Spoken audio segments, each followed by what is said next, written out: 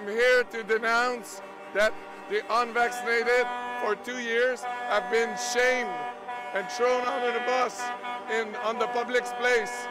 Uh, it goes against freedom of speech in Canada. You can't do that because what it does, it has some people that listen to those insults and to that intimidation that they are doing to the unvaccinated, they repeat it. And behind their cell phones on social media, they intimidate.